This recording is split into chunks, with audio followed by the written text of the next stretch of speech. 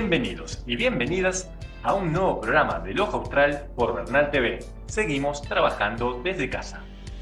En el primer bloque tendremos la entrevista que Gabriel Fernández le realizó a Gustavo Laúd, analista en geopolítica de los recursos energéticos del Atlántico Sur. En el segundo bloque estaremos inaugurando la sección Hablemos de Antártida, Hablemos de Ciencia. Y para finalizar, tendremos la entrevista que Ariel Harlich le realizó a Patricia Snopov, referente del grupo Choyolt de la Universidad Nacional de La Plata, y charlarán sobre las referencias astronómicas australes. Esperamos que disfruten de este programa.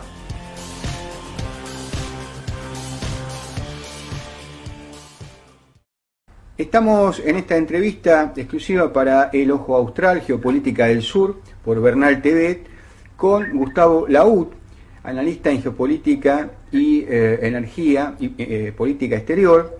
Es integrante del Instituto de Estudios sobre el Estado y Participación de la Asociación de Trabajadores del Estado, ATE, y docente de la Universidad de El Salvador. Te damos la bienvenida al Ojo Austral, Gustavo Laud. Muchas gracias, Gabriel, por esta posibilidad de estar en el Ojo Austral y con todo gusto para hablar de una temática que constituye un interés nacional de primer orden, diríamos, ¿no? Así es, bien. Para ir conociendo un poco de la cuestión petrolífera y gasífera en el sur, eh, en el tema que es este, nuestro objeto de interés aquí en el programa, es el Atlántico Sur, ¿cuántas eh, cuencas eh, gasíferas y petrolíferas existen en la actualidad en el Atlántico Sur, en el, lo que sería el territorio argentino, ¿no? Eso mismo, eh, Gabriel. Nosotros tenemos una explotación eh, interesante de gas fundamentalmente y de petróleo también en la cuenca marina austral que está básicamente, para ser muy claros, eh, para con la audiencia, enfrente de las costas de nuestra provincia de Tierra del Fuego, y abarcando también jurisdiccionalmente una parte de la provincia de Santa Cruz, ¿verdad? Allí eh, la empresa francesa Total Austral es una de las principales operadoras, como decía recién, fundamentalmente gas natural y en menor medida petróleo. YPF tiene presencia también, pero básicamente son estas dos grandes empresas las que eh, constituyen el principal polo de producción de hidrocarburos y sobre todo gas en la cuenca marina austral. Luego tenemos un conjunto de, pozos que están siendo sometidos a una dinámica exploratoria a partir de sísmica 2D y 3D, estudios que están comenzando en la cuenca Malvinas Oeste eh, que está distante a eh, más de 200 eh, kilómetros mar adentro, en nuestro mar argentino, y en donde hay pozos de distinta profundidad, es decir, son básicamente aguas profundas y ultra profundas que pueden llegar a más de 4.000 metros, sobre los cuales hay que hacer esta campaña exploratoria, y además también tenemos, eh, Gabriel, la cuenca argentina.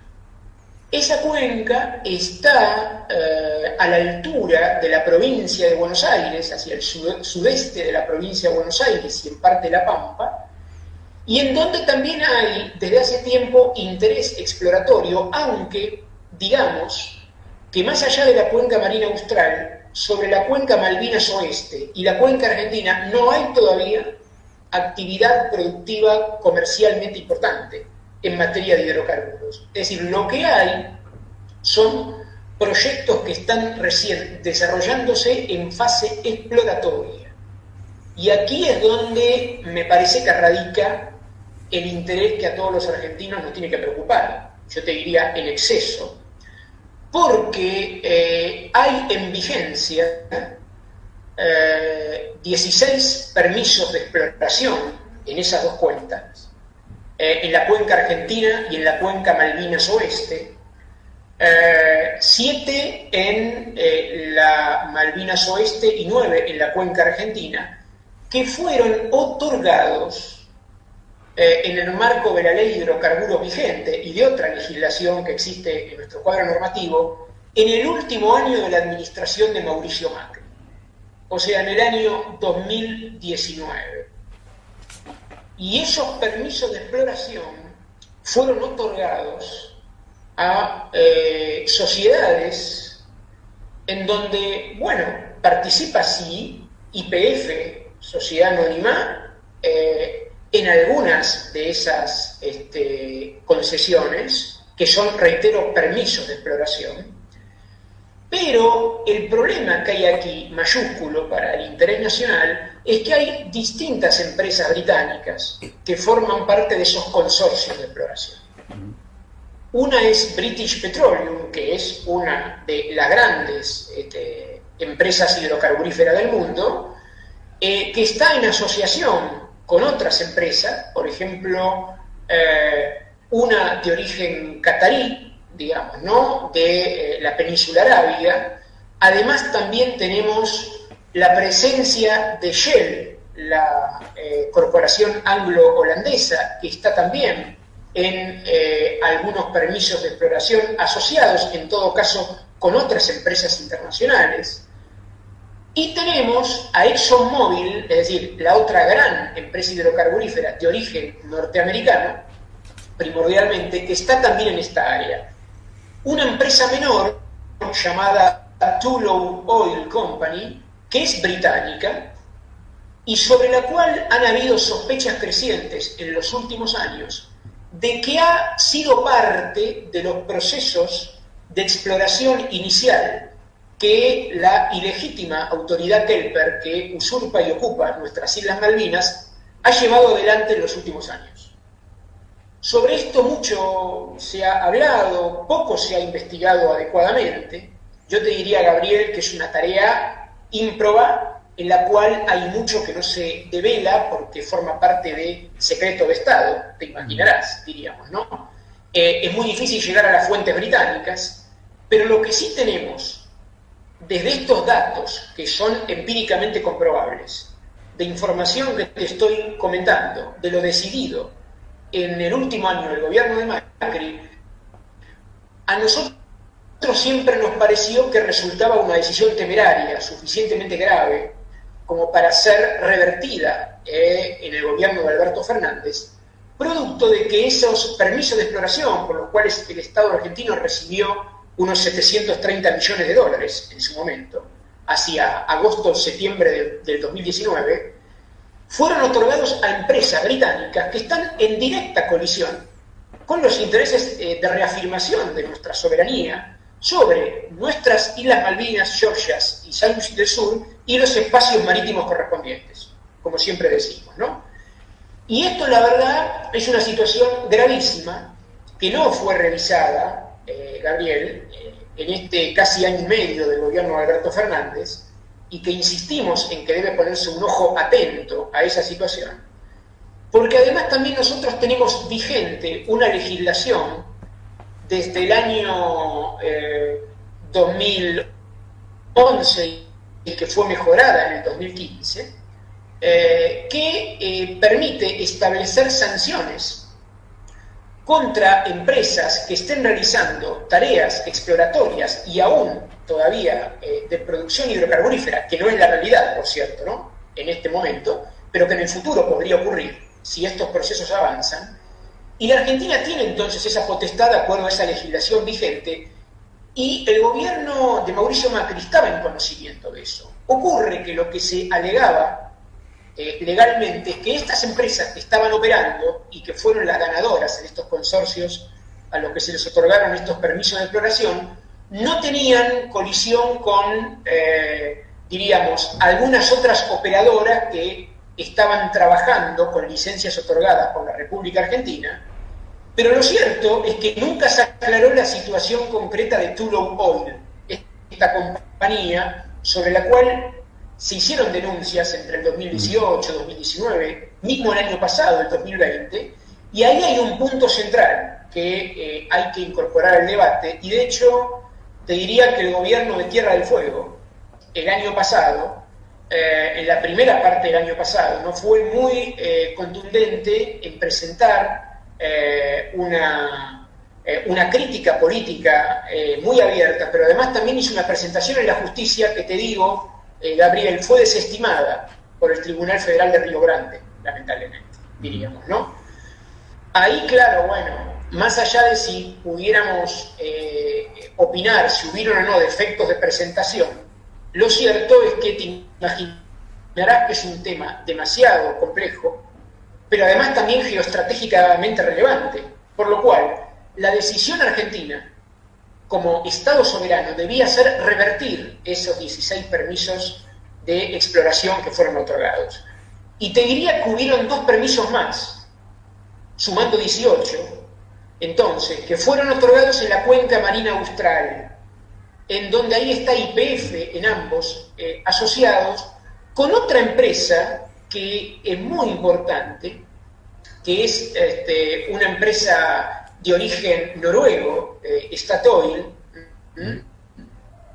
eh, y que en cierta forma también ha sido puesta en la picota en los últimos años por estar vinculada a posibles operaciones con eh, los kelpers en la cuenca Malvinas Norte. Perdóname. Que es donde los kelpers... Sí, Gustavo, esta empresa, la noruega, es la de capitales estatales noruegos, ¿no? Eso mismo. Eh, es de capitales estatales noruegos, se ha abierto al capital privado también, ¿verdad? Y nosotros tenemos la, la, eh, la percepción de que más allá de la conformación societaria, eh, actúa geoestratégicamente ligada al interés británico. Porque además Noruega, como vos bien sabés, es uno de los siete países que ha hecho reserva de soberanía sobre nuestra Antártida, sobre el sector antártico. Este, entonces, nosotros creemos que la presencia eh, de los noruegos que están asociados hoy con IPF, en estos permisos de exploración, como te decía, en la cuenca marina austral, y además esa empresa noruega está presente en la cuenca Malvinas Oeste también, en otras dos eh, eh, asociaciones, ¿no?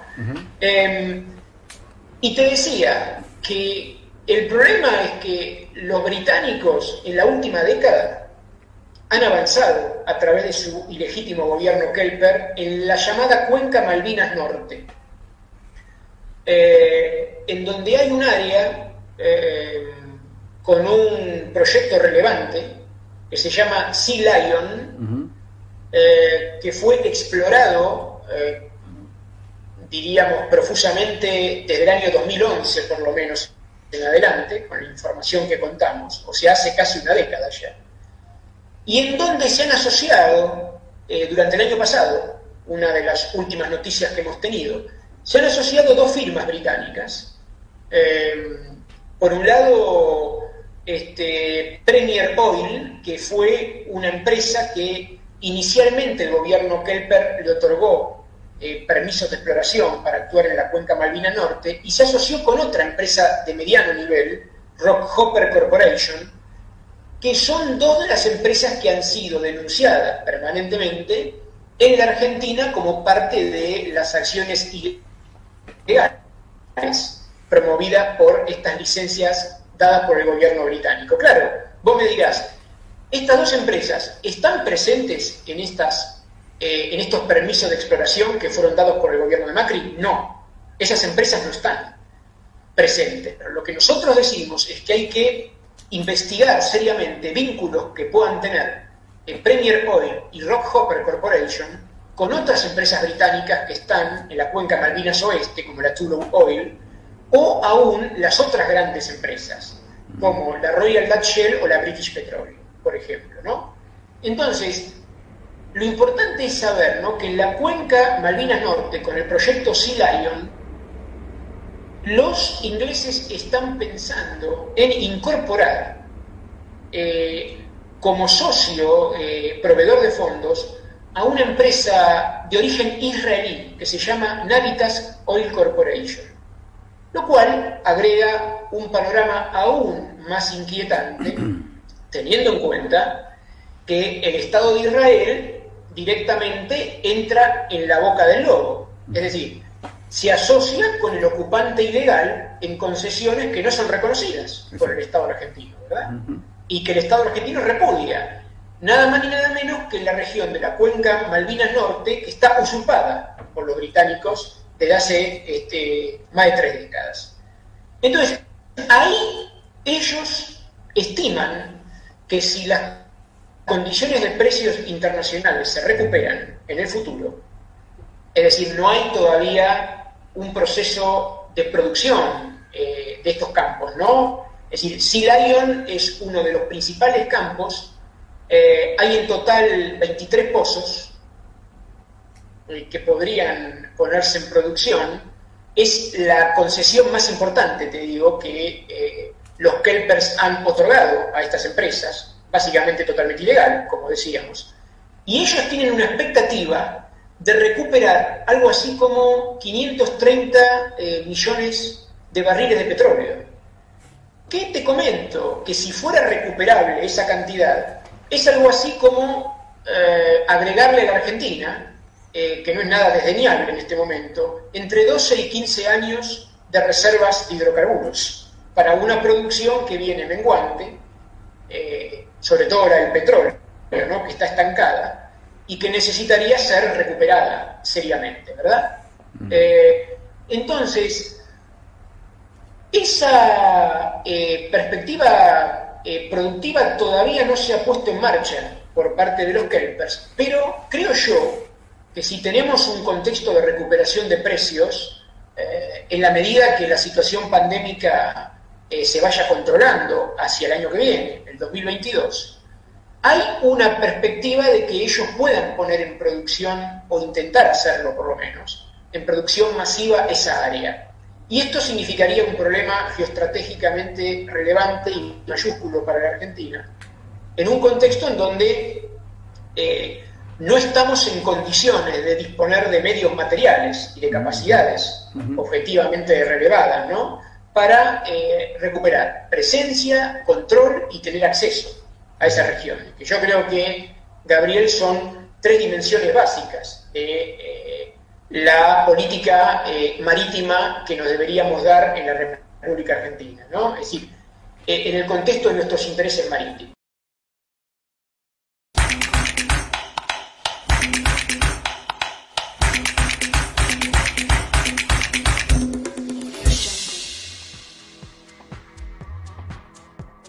Hola queridos amigos de Bernal TV, El Ojo Austral.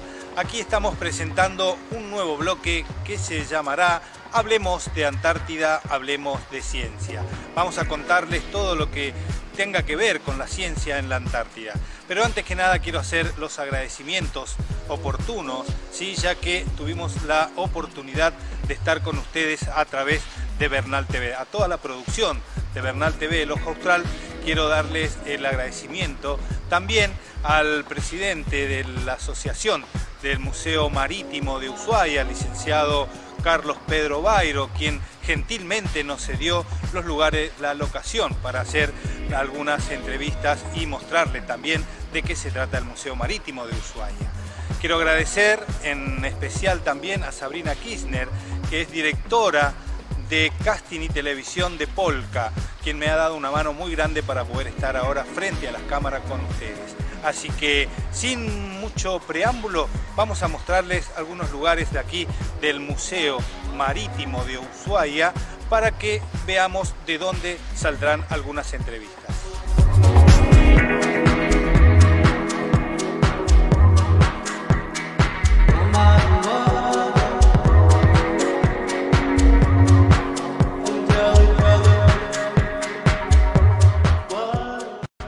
Acá con Danilo Clement, quien es director del Museo Marítimo de Ushuaia, expresidio, también es cónsul de Suiza. Danilo, queremos preguntarte, ¿cómo es el museo? ¿Qué se van a encontrar la gente que pueda visitar Ushuaia y la gente de Bernal TV, quien nos va a ver a través de streaming de todos?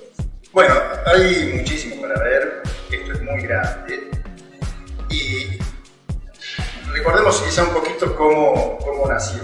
Esto, todo esto nació de una idea original y de la organización personal de Carlos Barrio, quien hoy en día es el director general de, este grupo de museos. Esto nació como museo marítimo eh, y como la Armada nos permitió utilizar este espacio, eh, entonces posteriormente surgió la idea, bueno, se hace aquí también entonces el Museo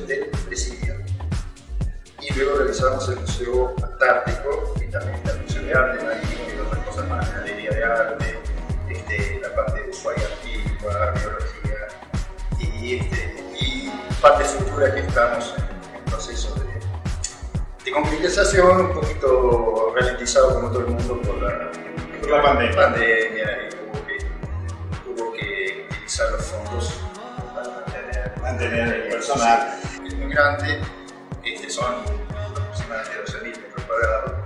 Este, siempre la, en la entrada que el público accede dura dos días, porque Es muy grande. Claro, sí, digamos un pantallazo, como en cualquier lado, no se lo lleva una, una obra, dos horas. Mucha historia, mucha historia para contar y que ustedes van a poder conocer a lo largo de todos los bloques que vamos a ir viendo una vez por semana aquí en Bernal TV, el Ojo Austral. Hablemos de Antártida, hablemos de ciencia. Van a poder conocer algunos lugares que seguramente vamos a hacer algunas tomas cortitas para que ustedes vean esta presentación y el lugar de donde seguramente muy pronto vamos a tener algunas entrevistas.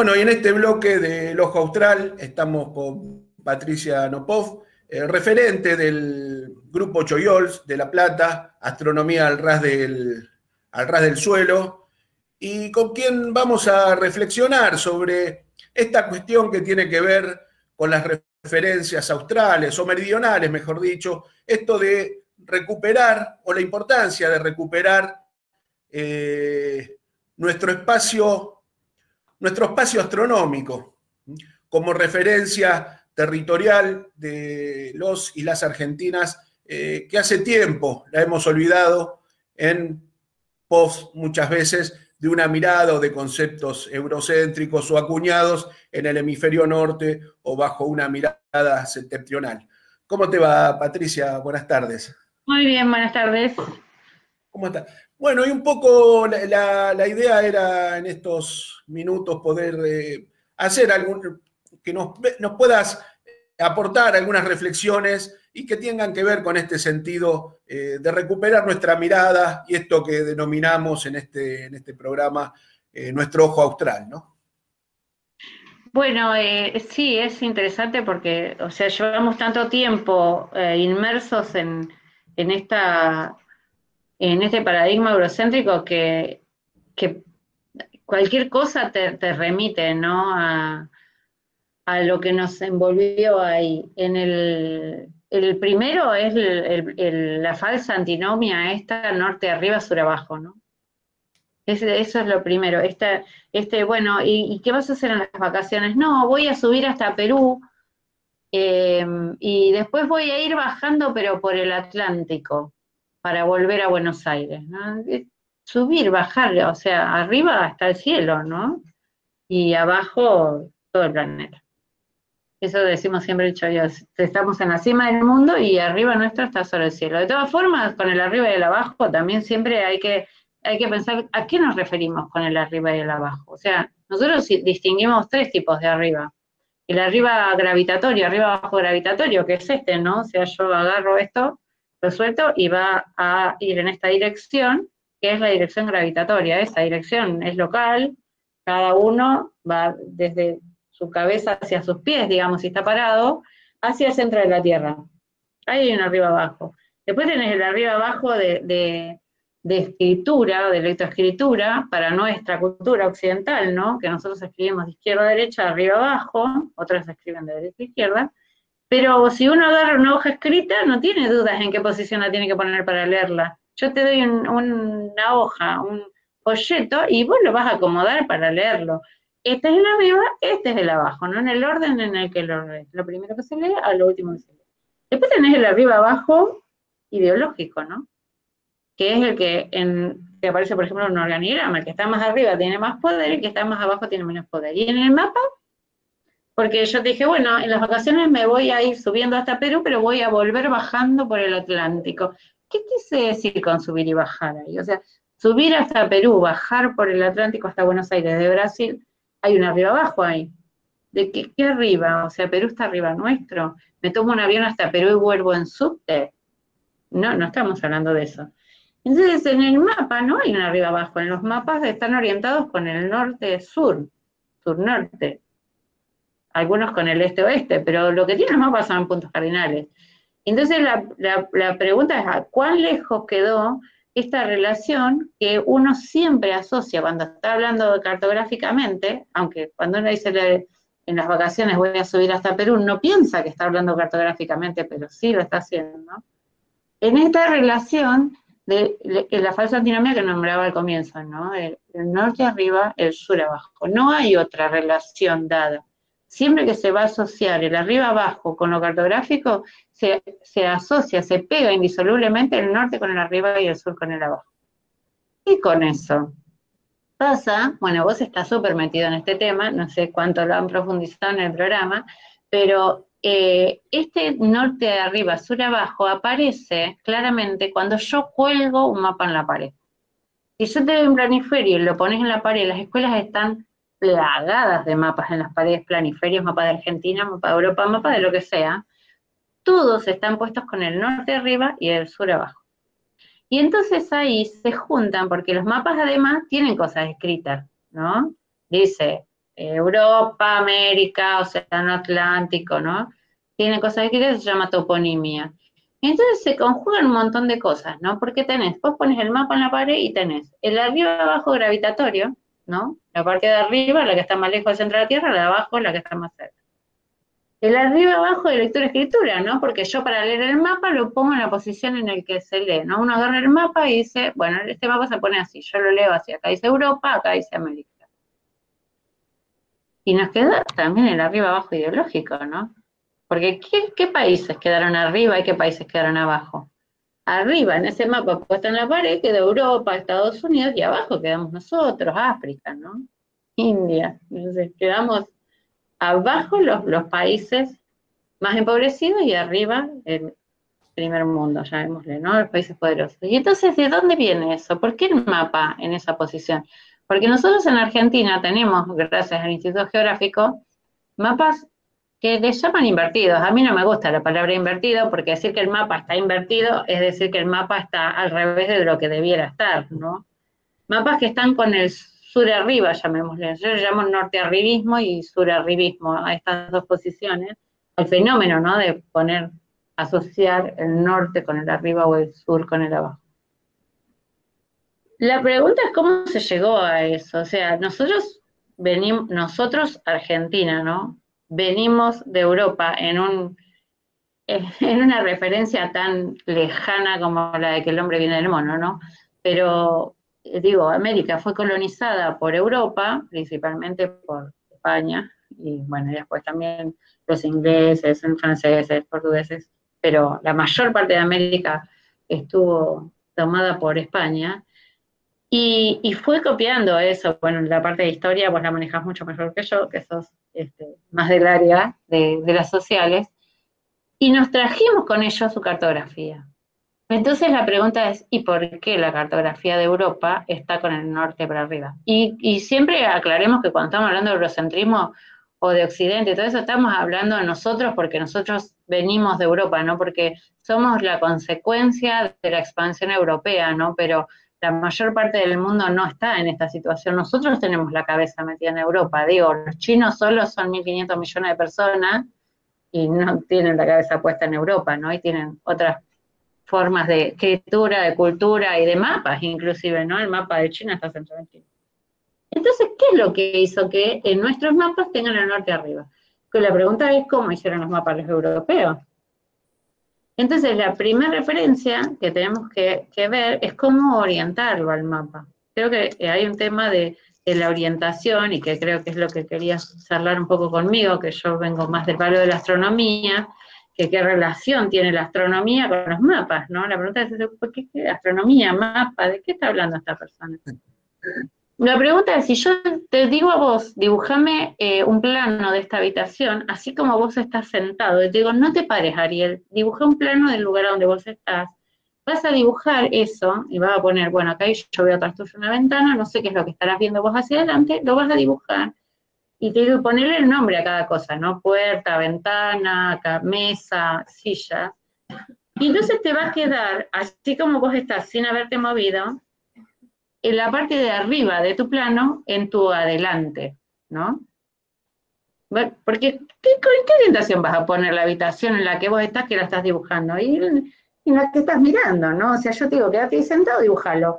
Y bueno, entonces la dibujás así como la estás viendo, ¿no? Adelante hay una pared, se supone que acá hay una puerta, acá a la derecha tengo otra puerta, acá no sé, tengo un mueble, acá atrás mío, dibujo a la parte de abajo la ventana. Bien, lo que miro lo, es lo que me generó la orientación, porque no había un criterio de orientación más que vos mismo. Lo que orientó tu plano fuiste vos mismo. Bien, pero ahora vos querés dibujar, por ejemplo, toda la Patagonia, porque te mandaron ahí a fines del siglo XIX a dibujar la Patagonia, ¿no? Mientras iban ahí acuchillando ranqueles y mapuche, dijeron, bueno, váyanme haciendo espacio, dijo alguien por ahí, algún señor rocoso, y dibújenme lo que van encontrando, ¿no? Y entonces vos decís, bueno, esta habitación es demasiado grande, no le veo las paredes, ¿no? Ya te parás, no sé, en la zanja de cine y no le ves las paredes a la habitación. Se te fue de, registro el espacio que tenés que dibujar, y entonces ¿con qué orientas? ¿Qué es lo que hay adelante tuyo? Esa es la pregunta que, creo que responde eh, eh, la cuestión de la orientación de los mapas. Entonces, te parás ahí en la mitad de la Pampa, en la mitad de la Patagonia, y decís, ¿qué pongo como referencia fija que sea indubitable para otra persona que venga detrás mío a hacerlo? Porque la cartografía es una ciencia, ¿no? Los, cartógrafos tienen que poder hacerlo como cualquier otro tipo de ciencia, algo que sea replicable, ¿no? Entonces yo hago esto y vos tenés que venir atrás con las mismas técnicas que yo y poder hacer lo mismo. ¿Qué referencia tengo yo para que eso sea replicable? Entonces, ahí viene lo astronómico. Te paras de noche, ahí en tu zanja de o en, tu, la mitad de la Patagonia, en Carmen, de donde quieras, y empezás a observar. Bueno, por supuesto que no es que los cartógrafos a la noche se ponen a descubrir cosas, no ya lo saben, pero lo comentamos para los que no sean cartógrafos. Si yo me pongo a observar detenidamente durante la noche un cielo despejado, me voy a dar cuenta, tal vez nosotros ya hemos perdido la paciencia de la observación, ¿no? Porque también hemos perdido la mirada al cielo, los habitantes actuales de este planeta, ¿no? Pero antes lo hacían. Hoy en día se hace mucho con las cámaras fotográficas esto, ¿no? El registro fotográfico. Pero si empezás a observar el cielo, te, te vas a dar cuenta que es como que todo el cielo gira, ¿no? Como que todo el cielo gira en el sentido de que las estrellas siempre se mantienen en la misma posición relativa entre ellas, ¿no? Por ejemplo, la Cruz del Sur. ¿Por qué nosotros podemos hablar de la Cruz del Sur? Y porque las cuatro estrellas o cinco que estés viendo de la Cruz del Sur están siempre en la misma posición relativa entre ellas. Pero decís, bueno, ahora voy a mirar a la Cruz del Sur. Está acá. Y después de, unas horas está acá, ¿no? mi dedo, ah, vamos a hacer ahí, mira, vamos a hacer una Cruz del Sur. ¿no? Esta es la Cruz del Sur. Después la encuentro así bueno, yo en realidad no sé si se ven derecho o en espejo, lo que están viendo, que siempre me queda esta duda cuando hay clase. Y después acá, y la vemos como que está girando en el cielo. Y podríamos quedarnos toda la noche y la vamos a ver dar una vuelta completa a, esa, a esas cuatro o cinco estrellas. Yo veo cuatro nomás porque yo la quinta no la veo. Alrededor de un punto imaginario en el cielo podríamos mirar cualquier otra estrella. O sea, hay otras dos estrellitas que se llaman el puntero, que apuntan a la Cruz del Sur, que también las vamos a ver dando la vuelta. Como que todo el cielo. Alfa y Beta Centauro. Alfa y Beta Centauro. Como que todo el cielo está girando alrededor de un punto. Y si vas la noche siguiente, va a pasar lo mismo. Y en el mismo lugar, o sea, vos te tiraste en el mismo lugar y vas a ver el punto siempre en el mismo lugar. No es que hoy acá, mañana allá, o que durante la noche eso se hay un punto fijo en el cielo, imaginario, ¿no? Que lo vas a encontrar con mucha paciencia y observación, de a partir de la rotación de las estrellas. Las estrellas que se ven toda la noche, como las de la Cruz del Sur, se llaman circumpolares, porque este punto es el polo. El polo, ahí ya la palabra la conocemos, polo. Nosotros conocemos, ah, está el polo norte, está el polo sur. En el polo norte está el Ártico, en el polo sur la Antártida, pero yo estoy hablando del cielo, ¿de qué estamos hablando? Este es el polo elevado.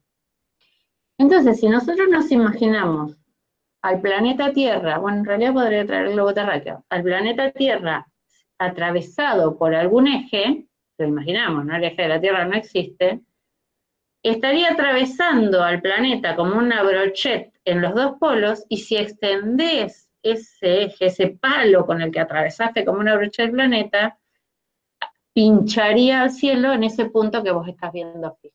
Ese punto se llama polo elevado y para nosotros es el polo sur, porque nosotros estamos en el hemisferio sur. Entonces ese cartógrafo que dice, bueno, ¿cómo voy a yo a registrar esta habitación patagónica que se me fue de mambo? Dice, bueno, pero si ese punto está siempre ahí, y yo lo veo y lo ve cualquiera, ¿no? O sea, lo veo entre comillas, ¿no? Porque no hay una estrella ni nada. En el hemisferio norte está la estrella polar, pero acá no. Pero lo puedo ubicar. Te digo, si yo a ese punto que veo ahí en el que encuentro en el cielo, más que veo, lo proyecto hacia la Tierra, encuentro astronómica y geográficamente de manera precisa la dirección hacia el sur. O sea que si de acá me tiro para allá, hacia allá está el norte.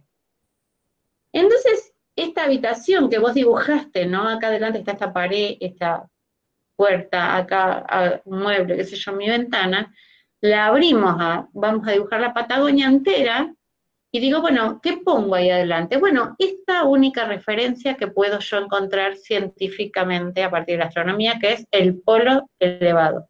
Entonces, en el, en hemisferio norte, cuando, los españoles llegaron acá ya tenían cartografía, ¿no?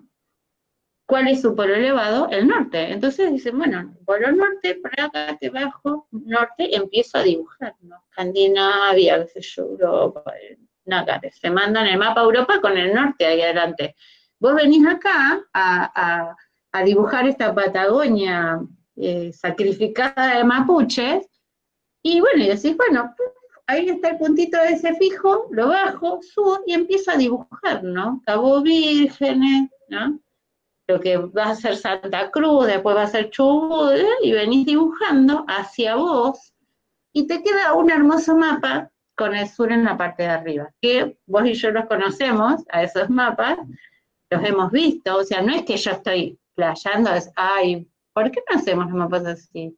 Vos y yo estuvimos juntos en un lugar viendo esos mapas de verdad y oficiales, ¿no? O sea, del siglo XIX. Sí, del siglo XIX. Sí, existen esos mapas. ¿Cómo después se dieron vuelta? Creo que es lo que estás trabajando vos en la tesis, ¿no? Así mismo, así mismo, Patricia. Y eh, hablaba de la Cruz del Sur, y bueno, nosotros también, producto de esta colonización, de, esta construcción occidental, de, bueno, de esta conformación eurocéntrica, eh, vemos en estas cinco estrellas más estas dos eh, que apuntan, punteros, una cruz cuando otros pueblos lo que veían era un choique o un ñandú, ahí el nombre de Choyol, ¿no? que también no solamente eh, para los cartógrafos modernos o actuales, la Cruz del Sur eh, es una referencia, sino también, y de ahí el nombre de Choyols, eh, está la, referencia astronómica austral de los pueblos patagónicos a los que referías.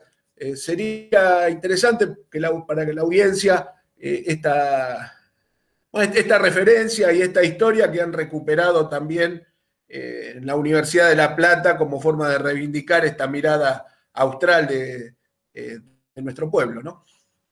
Sí, el ñandú fue un animal muy importante para, para, prácticamente todas las culturas de esta zona. Inclusive los mocovíes, si no tengo mal entendido, mm, ven el ñandú entero en todo el cielo, ¿no? Entre asterismos y constelaciones. Pero mm, salvo los, eh, no sé, los Aymara o... Los Aymara la chacana. Los Aymara son, ¿no? Que ven una chacana, que ven una cruz en la Cruz del Sur. Una, cruz cuadrada. Una cruz cuadrada en la Cruz del Sur. Creo que son la única cultura de por acá que yo conozca que ven una cruz ahí.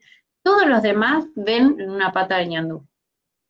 O sea, es la... Mm, eh, yo voy a hacer acá, mira, vamos a hacer... Eh, Voy a dibujar dos cruces del sur, así, mira, rápidamente.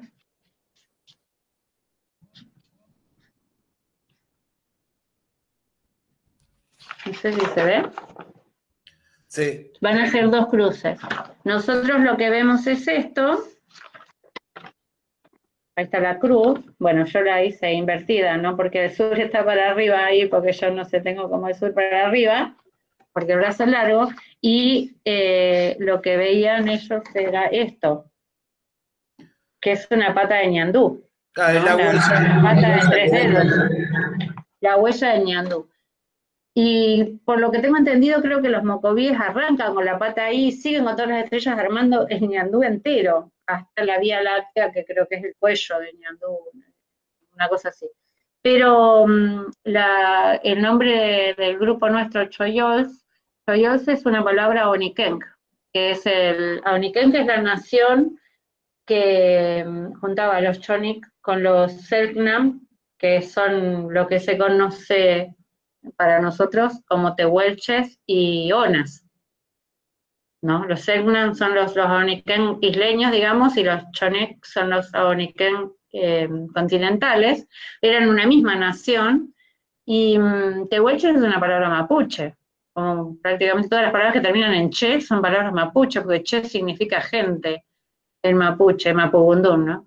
Y mm, los conocemos con la palabra tehuelches porque los tehuelches los, dominaron primero a los y les costó mucho, entonces eh, les decían chehuelche, que quiere decir gente bravía, porque eran muy grandotes, así, eran guerreros muy poderosos y les costó bastante a los mapuches hacerse espacio entre los Aoniken. Y entonces, estas dos culturas eh, los tehuelches eh, o y los mapuches comparten la cosmogonía porque ellos compartieron, coexistieron eh, juntos durante muchísimo tiempo, previo a la llegada del hombre blanco. Así como Roma y Grecia, ¿no? Que comparten sus cosmogonías. Y esta leyenda, que yo ahora la voy a hacer muy chiquitita, la comparten los, las dos, y tiene la misma leyenda, con breves variaciones, que dice que había un enorme ñandú eh, moro, se llama en Oriken, que no lo podían atrapar, y bueno, y el, como el jefe del grupo estaba empecinado en cazarlo, y entonces arma un, un grupo con los mejores cazadores y salen por la meseta ahí a tratar de cazarlo, y nunca lo podían alcanzar, nunca lo podían alcanzar, y los guerreros como que se iban cansando y los cazadores se, se iban volviendo, ¿no? Como dicen, basta, déjalo, ¿no? A este, a este ñandú, dediquémonos a otra cosa. Y termina quedando solamente el cazador principal, ¿no? Persiguiéndolo y en un momento llega al final de la meseta. Y entonces dice, lo tengo atrapado, ¿no? Bueno, no tiene a dónde ir. Llegó al final, ¿no? La meseta no mide dos metros, mide un montonazo de metros de altura. Y entonces en ese momento, cuando, cuando el ñandú llega al final de la meseta, lo mira y sale un arco iris en el cielo. Y el ñandú se trepa al arco iris y se va. Y el cazador furioso le tira a sus goleadoras y se le quedan enganchadas en el cielo. Toda esta parte es muy mágica, ¿no? Porque primero que no se puede trepar por un arco iris y segundo que las goleadoras no se quedarían atrapadas en el cielo y ellos lo sabían. Entonces dice la leyenda que él vuelve con las manos vacías, sin ñandú y sin goleadoras, y mm, que todos se mataron de risa, se le burlaron, porque era como, contate una que te creamos, ¿no? O sea, no lo pudiste atrapar y encima perdiste a las boleadoras y nos querés contar este cuento, pero a la noche cuando se pone el sol, aparece un grupo de nuevas estrellas, que eran estas, ¿no? Estas así, la huellita de ñandú en el cielo, que es lo que significa choyols. Choyols, esa palabra así cortita, significa huella de ñandú en el cielo, es la palabra que le pusieron a esas cuatro estrellas, y por otro lado, Chergelén, las tres Marías, que son las boleadoras de, de Corcoronque que quedaron ahí colgadas.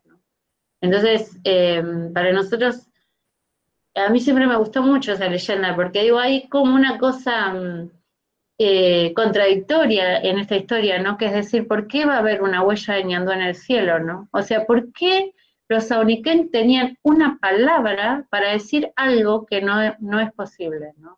Que choyol significa huella de Ñandú en el cielo, se supone que tu lenguaje se construye con tu universo de posibilidades, ¿no? Y ellos tienen una palabra para decir algo que no es posible, que es huella de Ñandú en el cielo, que se solamente sirve para mencionar esas cuatro estrellas.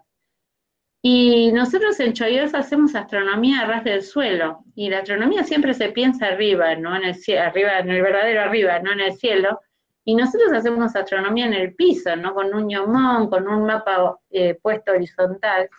Entonces, eh, me parece que es la, es la conjugación de eso, no es bajar el cielo al suelo, es decir, una huella de ñandú tiene que estar en el, en el suelo, ¿no? Entonces, bajar el cielo al suelo y hacer astronomía desde acá, de donde yo estoy parado, no desde allá, o sea, el cielo es inabarcable y no, no podemos estar ahí. Digo, yo siempre pongo este caso, ¿no? Respecto de lo que es la astronomía situada. Si vos tenés que mm, hablar del sistema Tierra-Sol con tus alumnos, algo mm, que está muy, muy este, abarcado en el sistema educativo, desde jardín de infantes hasta el final de la secundaria, el sistema Tierra-Sol se trabaja empezando en el jardín de infantes con el ciclo día-noche, ¿no? El ciclo día-noche es parte del sistema Tierra-Sol, ¿no? O sea, se hace de día y se hace de noche de acuerdo a que si el sol está en el cielo o no. Entonces, tenés que hablar de eso. Decís, bueno, chicos, vamos a observar esto, vamos a hacer una lección paseo, ¿qué se te ocurre? Porque sos un docente que te gusta mucho sacar a tus alumnos a lecciones paseo, te parecen muy provechosas. Y entonces decís, ¿a dónde? La inspectora te dice, presente los papeles, profesor. Muy bien, arme la lección. ¿A dónde va a ir usted con sus alumnos para mirar el sistema Tierra-Sol? ¿A Marte?